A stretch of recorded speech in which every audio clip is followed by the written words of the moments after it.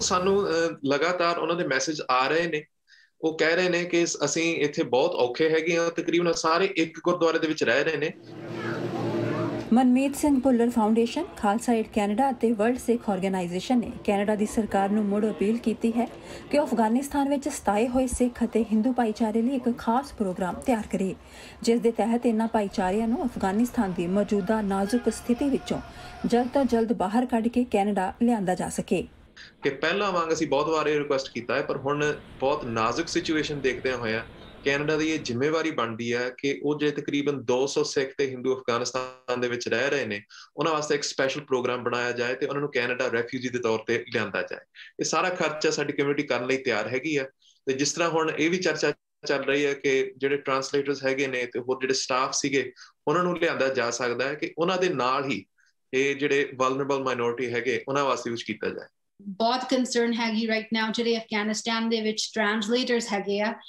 Of course government ਦੀ priority ਹੋਣੀ ਚਾਹੀਦੀ ਹੈ ਕਿ ਇਹਨਾਂ ਟਰਾਂਸਲੇਟਰਸ ਨੂੰ ਅਸੀਂ ਮਦਦ ਕਰੀਏ ਕਿਉਂਕਿ ਉਹਨਾਂ ਨੇ ਸਾਡੀ ਕੈਨੇਡੀਅਨਸ ਦੀ ਮਦਦ ਕੀਤੀ ਸੀਗੀ। ਸੋ ਅਸੀਂ ਚਾਹੁੰਦੇ ਹਾਂ ਕਿ ਜਦੋਂ ਉਹ ਦੇਖ ਰਹੇ ਹੈਗੇ ਆ ਕਿ ਟਰਾਂਸਲੇਟਰਸ ਲਈ ਅਸੀਂ ਕੋਈ ਪ੍ਰੋਗਰਾਮ ਸ਼ੁਰੂ ਕਰ ਸਕਦੇ ਆ ਉਦੋਂ ਆਪਣੇ ਮਨ ਦੇ ਵਿੱਚ ਉਹ ਇਹ ਵੀ ਸੋਚਣ ਕਿ ਉਹ ਪ੍ਰੋਗਰਾਮ ਇਸ ਸਿੱਖ ਐਂਡ ਹਿੰਦੂ ਫੈਮਲੀਜ਼ ਲਈ ਕਿੱਦਾਂ ਅਸੀਂ ਵਰਤ ਸਕਦੇ ਹਾਂ। ਵਰਲਡ ਸਿੱਖ ਆਰਗੇਨਾਈਜੇਸ਼ਨ ਤੋਂ ਬਲਪ੍ਰੀਤ ਸਿੰਘ ਨੇ ਦੱਸਿਆ ਕਿ ਅਫਗਾਨਿਸਤਾਨ ਤੋਂ ਸਿੱਖ ਅਤੇ ਹਿੰਦੂ ਭਾਈਚਾਰੇ ਨੂੰ ਭਾਰਤ ਰਾਹੀਂ ਕੈਨੇਡਾ ਲੈ ਕੇ ਆਉਣ ਦੀ ਪ੍ਰਕਿਰਿਆ ਬਹੁਤ ਲੰਮੀ ਹੈ। ਉਹਨਾਂ ਦੱਸਿਆ ਕਿ 2015 ਵਿੱਚ ਸਵਰਗਵਾਸੀ ਮਨਮੀਤ ਸਿੰਘ ਪੁੱਲਰ ਨੇ ਹੈਲਮਨ ਸੂਬੇ ਦੇ ਸਿੱਖਾਂ ਤੇ ਹਿੰਦੂਆਂ ਨੂੰ ਆਪਣੇ ਉਦਮਾਂ ਨਾਲ ਭਾਰਤ ਲਿਆਂਦਾ ਸੀ, ਪਰ ਉਹਨਾਂ ਵਿੱਚੋਂ ਅੱਧੇ ਸ਼ਰਨਾਰਥੀਆਂ ਦੀਆਂ ਫਾਈਲਾਂ ਵੀ ਪ੍ਰੋਸੈਸ ਨਹੀਂ ਹੋਈਆਂ ਅਤੇ ਉਹ ਅਜੇ ਵੀ ਭਾਰਤ ਵਿੱਚ ਬੈਠੇ ਨੇ। ਸੋ ਪ੍ਰੋਸੈਸ ਬਹੁਤ ਲੰਮਾ ਪੈ ਜਾਂਦਾ ਹੈ। ਤੁਸੀਂ ਪਹਿਲਾਂ ਹੀ ਤੋਂ ਕਹਿ ਰਹੇ ਆ ਕਿ ਕੈਨੇਡਾ ਨੇ ਇੱਕ ਸਪੈਸ਼ਲ ਪ੍ਰੋਗਰਾਮ ਦੇ ਤਹਿਤ ਤਿਬਤੀ ਰੈਫਿਊਜੀ ਸੀਰੀਅਨ ਰੈਫਿਊਜੀ ਉਹਨਾਂ ਨੂੰ ਕੈਨੇਡਾ ਲਿਆਂਦਾ ਆ ਉਹਨਾਂ ਦੀ ਰੈਡ ਟੇਪ ਕੱਟ ਕੇ। ਕਿ ਇਹ ਥੋੜੇ ਜਿਹੇ ਜਿਹੜੇ ਹੈਗੇ ਨੇ ਇਹ ਗਰੀਬ ਨੇ ਇਹਨਾਂ ਵਾਸਤੇ ਕੁਝ ਨਾ ਕੁਝ ਕੀਤਾ ਜਾਏ ਤੇ ਹਲੇ ਤੱਕ ਸਾਨੂੰ ਕੋਈ ਰਿਸਪਾਂਸ ਨਹੀਂ ਮਿਲੇ immigration and refugee protection act ਦੀ ਧਾਰਾ 25.2 ਦੇ ਤਹਿਤ ਅਜਿਹਾ ਖਾਸ ਪ੍ਰੋਗਰਾਮ ਤਿਆਰ ਕੀਤਾ ਜਾ ਸਕਦਾ ਹੈ। ਬਲਪ੍ਰੀਤ ਨੇ ਦੱਸਿਆ ਕਿ ਉਹ ਪਿਛਲੇ ਲੰਮੇ ਸਮੇਂ ਤੋਂ ਸਰਕਾਰ ਨੂੰ ਇਸ ਤੇ ਕੰਮ ਕਰਨ ਦੀ ਅਪੀਲ ਕਰ ਰਹੇ ਨੇ। ਆਈ ਸਵੇਅਰ ਸ਼ਾਇਦ ਉਹ ਸੋਚਦੇ ਇੱਕ ਪੋਲੀਟੀਕਲ ਇਸ਼ੂ ਨਹੀਂ ਹੈਗਾ। ਇਸ ਦੀ ਲੋੜ ਨਹੀਂ ਮਹਿਸੂਸ ਹੈਗੀ, ਪਰ ਇਸ ਦੇ ਕਰਕੇ ਮੈਂ ਕਹਿ ਸਕਦਾ ਜਾਨਾਂ ਗਈਆਂ ਨੇ। ਜਿਹੜੇ ਮਾਰਚ ਪਿਛਲੇ ਸਾਲ ਅਟੈਕ ਹੋਇਆ ਕਾਬਲ ਦੇ ਸ੍ਰੀ ਗੁਰੂ ਹਰਰਾਏ ਸਾਹਿਬ ਗੁਰਦੁਆਰੇ ਦੇ ਵਿੱਚ, ਉਹ 25 ਜਾਨਾਂ ਗਈਆਂ ਨੇ। ਉਸ ਤੋਂ ਬਾਅਦ ਬੰਬਸ ਵੀ ਹੋਏ ਨੇ ਅਗਵਾ ਵੀ ਕੀਤੇ ਗਏ ਨੇ। ਇਹ ਸਾਰਾ ਅਨਨੈਸੈਸਰੀ ਸੀ ਜੇ ਆਪਾਂ ਉਹਨਾਂ ਨੂੰ ਸੇਫਟੀ ਤੇ ਲਿਆ ਸਕਦੇ ਹੋਈ। ਅਫਗਾਨਿਸਤਾਨ ਵਿੱਚ ਇਸ ਸਮੇਂ ਸਿਰਫ ਇੱਕ ਹੀ ਗੁਰਦੁਆਰਾ ਕਾਰਜਸ਼ੀਲ ਹੈ। ਕਾਬੁਲ ਦੇ ਕਰਤੇ ਪਰਵਾਨ ਇਲਾਕੇ ਦੇ ਇਸ ਗੁਰਦੁਆਰੇ ਵਿੱਚ 200 ਤੋਂ ਵੀ ਘੱਟ ਹਿੰਦੂ ਅਤੇ ਸਿੱਖ ਪਰਿਵਾਰ ਰਹਿ ਰਹੇ ਨੇ। ਜੋ ਇਸ ਸਮੇਂ ਆਪਣੀ ਸੁਰੱਖਿਆ ਨੂੰ ਲੈ ਕੇ ਬਹੁਤ ਚਿੰਤਿਤ ਹਨ। ਇੱਕ ਹੀ ਗੁਰਦੁਆਰਾ ਇਸ ਟਾਈਮ ਤੇ ਇਸ ਟਾਈਮ ਤੇ ਫੰਕਸ਼ਨਿੰਗ ਹੈਗਾ ਕਾਬਲ ਦੇ ਵਿੱਚ ਕਰਤੇ ਪ੍ਰਵਾਨ ਦੇ ਵਿੱਚ?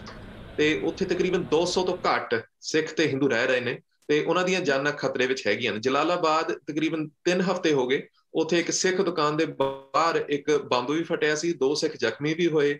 ਸੋ ਕੋਈ ਕਹਿ ਨਹੀਂ ਸਕਦਾ ਕਿ ਕਦੋਂ ਉਹਨਾਂ ਦੀਆਂ ਜਾਨਾਂ ਖਤਰੇ ਵਿੱਚ ਮਤਲਬ ਆ ਕੇ ਉਹ ਖਤਮ ਕੀਤੇ ਜਾਣ, ਕਿਉਂਕਿ ਅਟੈਕਸ ਜਿਹੜੇ ਲਗਾਤਾਰ ਪਲਾਨ ਹੋ ਰਹੇ ਇਮੀਗ੍ਰੇਸ਼ਨ ਵਾਲੇ ਮਿਨਿਸਟਰ ਅਤੇ ਸਾਡੇ ਜਿਹੜੇ ਮਿਨਿਸਟਰ ਹੈਗੇ ਆ, ਹਰਜੀਤ ਸੱਜਣ, ਉਹਨਾਂ ਦੇ ਨਾਲ ਸਾਡੀ ਗੱਲਬਾਤ ਹਮੇਸ਼ਾ ਚੱਲਦੀ ਰਹਿੰਦੀ ਹੈਗੀ ਆ।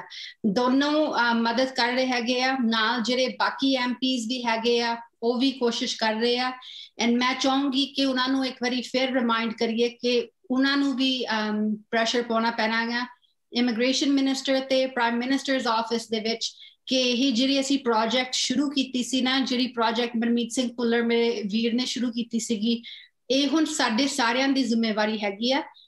ਅੱਜ ਬ੍ਰੈਂਟਨ ਵਿੱਚ ਪਹੁੰਚੇ ਪ੍ਰਧਾਨ ਮੰਤਰੀ ਜਸਟਿਨ ਟਰੂਡੋ ਨੂੰ ਜਦੋਂ ਓਮਨੀ ਟੀਵੀ ਨੇ ਇਸ ਮੁੱਦੇ ਬਾਰੇ ਪੁੱਛਿਆ ਤਾਂ ਪ੍ਰਧਾਨ ਮੰਤਰੀ ਨੇ ਕਿਹਾ ਕਿ ਉਹ ਅਫਗਾਨਿਸਤਾਨ ਦੀ ਮੌਜੂਦਾ ਚਿੰਤਾਜਨਕ ਸਥਿਤੀ ਨੂੰ ਸਮਝਦੇ ਹਨ ਅਤੇ ਉਹਨਾਂ ਭਰੋਸਾ ਦਿੱਤਾ ਕਿ ਇਮੀਗ੍ਰੇਸ਼ਨ ਮੰਤਰੀ ਸਿੱਧੇ ਤੌਰ ਤੇ ਇਸ ਫਾਈਲ ਤੇ ਕੰਮ ਕਰ ਰਹੇ ਨੇ We have been working over the past uh, number of years uh, on initiatives regarding Afghan Sikhs. Uh, we have had uh, uh, good progress on that and we actually continue to work on it. We understand uh, how concerning the current deterioration of the situation in Afghanistan is for uh, many people people who have loved ones over there. I can assure you that uh, our Minister of Immigration, Marco Mendicino, uh, is working directly on this file alongside uh, many members of our caucus uh, uh, who've been advocating strongly for this. Balpreet ਨੇ ਇਹ ਵੀ ਦੱਸਿਆ ਕਿ ਅਫਗਾਨਿਸਤਾਨ ਦੇ ਘੱਟ ਗਿਣਤੀ ਭਾਈਚਾਰੇ ਦੇ ਜਿਹੜੇ ਪਰਿਵਾਰ ਇਸ ਸਮੇਂ ਕੈਨੇਡਾ ਵਿੱਚ ਵਸ ਚੁੱਕੇ ਨੇ, ਉਹ ਆਪਣੇ ਨਵੇਂ ਜੀਵਨ ਵਿੱਚ ਬਹੁਤ ਖੁਸ਼ ਹਨ। ਬਲਪ੍ਰੀਤ ਨੇ ਕਿਹਾ ਕਿ ਸਿੱਖ ਸੰਸਥਾਵਾਂ ਦੀ ਇਹੀ ਖੁਆਇਸ਼ ਹੈ ਕਿ ਅਫਗਾਨਿਸਤਾਨ ਦੇ ਹੋਰਨਾਂ ਹਿੰਦੂਆਂ ਅਤੇ ਸਿੱਖਾਂ ਦਾ ਜੀਵਨ ਵੀ ਇਸੇ ਤਰ੍ਹਾਂ ਪ੍ਰਫੁੱਲਤ ਹੋ ਸਕੇ, ਜਿਸ ਦੇ ਲਈ ਉਹਨਾਂ ਦੀ ਕੋਸ਼ਿਸ਼ ਜਾਰੀ ਹੈ। ਸਿੱਖਾਂ ਨੇ, ਸਿੱਖ ਸੰਸਥਾਵਾਂ ਨੇ ਉਹਨਾਂ ਦੀ ਜ਼ਿੰਮੇਵਾਰੀ ਲਈ ਸੀ ਕਿ ਅਸੀਂ 1 ਸਾਲ ਇਹਨਾਂ ਦੀ ਪੂਰੀ ਜ਼ਿੰਮੇਵਾਰੀ ਲਵਾਂਗੇ। ਸਟੇਟ ਵੱਲੋਂ ਗਵਰਨਮੈਂਟ ਵੱਲੋਂ ਕੋਈ ਇਹਨਾਂ ਨੂੰ ਪੈਸਾ ਨਹੀਂ ਦਿੱਤਾ ਗਿਆ, ਕੋਈ ਸਪੋਰਟਸ ਨਹੀਂ ਇਹੋ ਜਿਹਾ ਮਿਲੀਆਂ।